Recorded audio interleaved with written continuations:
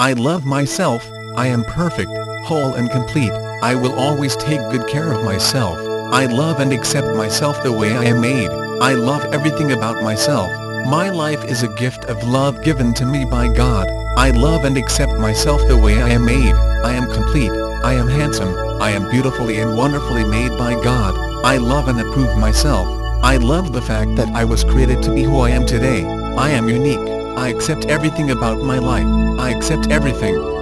about myself that I have done right or wrong in the past, I have forgiven myself, I release myself, I refuse to reject or neglect myself, I am wonderfully made by God, I refuse to accept the negative thought of others into my life, I am complete and sound, I am not going crazy, I am sound and of a good behavior, it does not matter what other people are saying about me, it does not matter what my parents might have done to me in childhood, I am complete and sound.